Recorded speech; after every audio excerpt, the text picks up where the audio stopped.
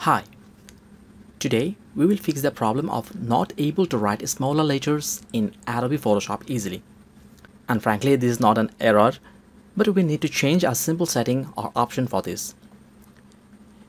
Now if I write something as you can see every letter is in capital and there's no smaller one. Okay so this is the problem. Even if I change the font the problem is still the same.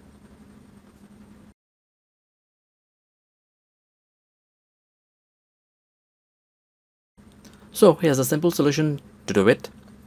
Simply go to characters here.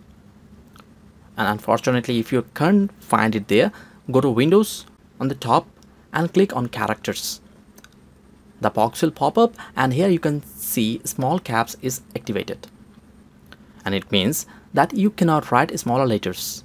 These are one of the features of Adobe Photoshop. Now simply click on it, make sure it is deactivated and the problem is gone.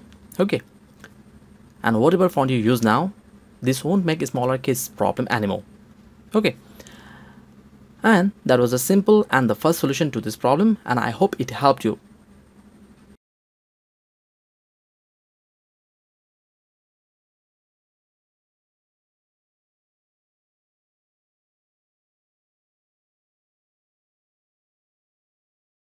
Please be with us. Let us know on the comment box your feelings and subscribe to the channel of Joseph IT.